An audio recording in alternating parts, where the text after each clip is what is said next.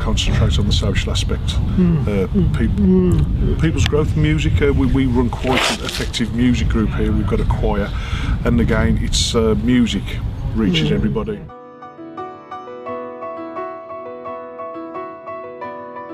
We go horse riding, we go swimming, we've been on holidays throughout Europe, haven't we? Um, and it is all about the social, all the things that we take for granted, even going on a plane. You know, some people have never been abroad before. We,